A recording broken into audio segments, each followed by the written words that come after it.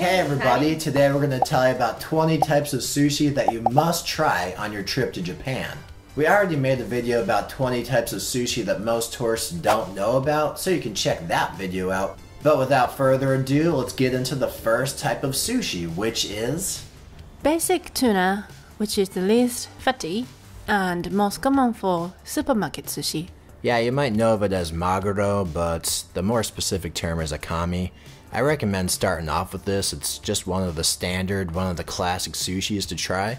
But there's many types of tuna to actually try, so that brings us to our second type of sushi, which is Chutoro. so chutoro actually means medium fatty tuna, right Akina? Exactly. Yeah, I would say that's a pretty good one. I like it better than the akami actually. What do you think though? Actually, chutoro is my favorite tuna sushi.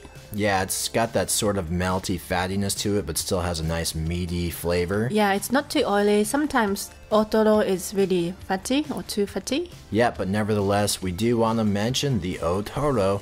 This is one of many tourist favorites ones to try. Like it is like very fatty, kind of melt in your mouth sort Yeah. of flavor. I do love it.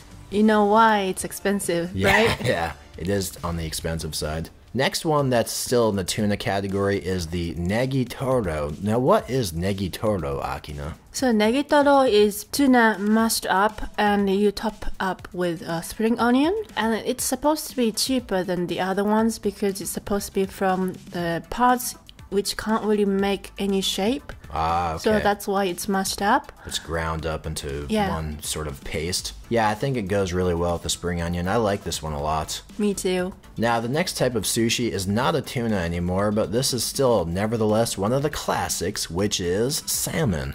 Now, how do the Japanese pronounce salmon, Akina? We call it salmon. Yep, sounds pretty much the same to me. Now, I think you've probably had salmon before, so I don't need to say much except that it's just very juicy in Japan, very fresh, and yeah, I think you just must try it if you come here.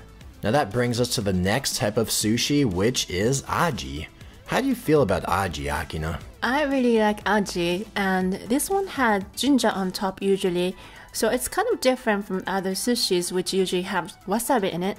So it's kind of a nice change of the pace, I would say. It is. The fish itself has a sort of like kind of fishy flavor to it, right? But that ginger paste is very fresh, and I like the sushi a lot. So the next type of sushi that we recommend you must try is the ikura, and you've probably seen pictures of this before. It's basically salmon eggs, right, Akina? yes. Yeah, these are really good. It's just like something about the flavor is concentrated. So to me, it tastes like salmon, but just much more concentrated flavor. And you get a sort of burst of flavor when you bite into those eggs. And I like the texture too. Now, as for the next type of sushi, this is Tobiko. Now, this is one that I didn't really know about until you introduced it to me, Akina. What is this? So, long story short, it's a small fish egg. Yeah, I would say it's similar to the ikura, but the flavor is much different because this is more about the texture. So the actual flavor is quite um, subtle compared to the ikura. Yeah, you might have seen it in California roll and stuff. Okay, yeah, usually there's small pieces of it, but in this Tobiko, like the actual piece of sushi, there's a lot of it. And you can actually enjoy the taste, and I love the texture. Next sushi we have is hotate, which is scallop. Now this is one of the ones that I fell in love with when I came to Japan because the hotate here is just so juicy, like you bite into it and you just taste this fresh scallop flavor. I definitely love this one. How do you feel about it, Akina? Well, I like it, but I don't love it. Next on the list is ebi, also known as shrimp. Now you can have this raw or cooked. It's typically cooked, and I think it's just really one of the classics. It's really good. You just have that pure, fresh, unadulterated shrimp flavor, and I like it a lot. How do you feel about the ebi, Akina? Um, I'm not really a huge fan of shrimps. Yeah, I actually like the shrimp a lot, although there's another shrimp that I like better than this one, which is the ama ebi. It's served raw and it has a sweet, sort of silky, kind of almost starchy flavor to it. I love ama ebi. How do you like it? You don't like ebis at all? Um, I kind of like it, but at the same time, I feel like I'm on the verge of allergic to it. I guess Okay. so. Well, that's your problem, baby. Me personally, I like that shrimp a lot.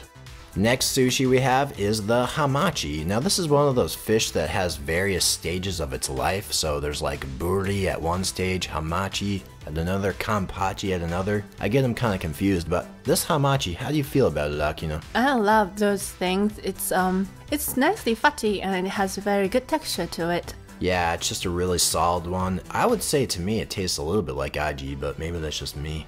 It's like um, very sushi, sushi, sushi, sushi. It's a sushi sushi. yeah.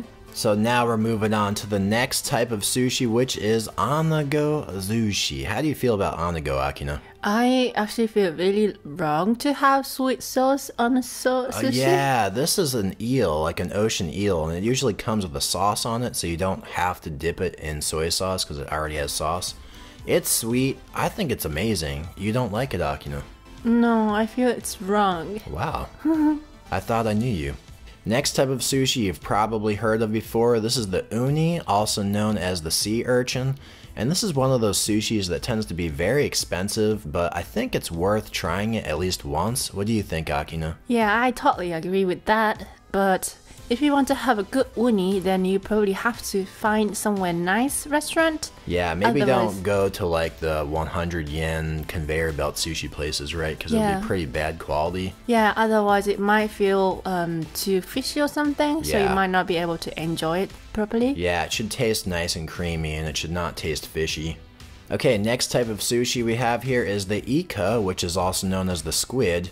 This is something I pretty much hated before I came to Japan. I mean, I liked squid, but I didn't like it raw. So, um, this actually, you can get some really good ones sometimes in Japan. I'm quite surprised. Yeah, if it's good, then it's not chewy, but um, it's Very uh, soft. yeah, very soft and then it's sweet. Okay, next type of sushi we have is the tako, also known as the octopus. This is another one that I'm not a huge fan of even now, but if you get a good one, it can be quite soft. You like the tako sushi though, right, Akina? Yeah, I actually like tako better than ika Is because so? yeah, because it has more flavor to it. Okay. I think it's a little bit chewier though. Depends on where you get. Okay. Next type of sushi we have is the Tai. This is a kind of sushi that's hard for me to identify the flavor of, but I tend to like it. How do you feel about it, Akina? Yeah, I, I feel exactly the same. Yeah, it's sort of hard to categorize, but um, it has a generic flavor and it's usually quite good, quite juicy and fresh. Yeah, it's also one of the most basic sushi and like sushi sushi. Yep, got it. Next type of sushi is one that I'm a pretty big fan of, but I think a lot of the younger people don't like it, so does that mean I'm getting old? This is the Kanpyo Maki, which is basically the gourd. It's like a dried gourd that's sweet. Um, it's a vegetable. Do you like it, Akina? I like it. But you're not a huge fan of it, right? I've never seen you order it on your own. No, Okay. it's too cheap. It's too ch- Oh man, that's brutal. All right, I'm moving on with my life, going on to the cucumber sushi. This is another one. I actually was surprised because this seems like so basic to me. Just living in America, it's one of the ones you can get quite easily that I didn't think that Japanese people would even eat it. Thought it might be like a California roll or something, but actually you can get it here and it's very good. Yep. Um, I would say this is a good change of pace in um, when you are eating fish all the time. It kind of is uh, refreshing with Yeah. the cucumbers juice and wasabi taste. and it cleanses the palate. Now it's time for sushi number 20, which is the tamago. Now, the one we got at this shop, it has the rice inside the tamago, but sometimes the tamago is on top of the rice and tied with a piece of nori. But anyway, that's a side topic. Basically, this is just a sweetened piece of egg that's on rice, right? Yeah. Now, you're not the biggest fan of this, are you?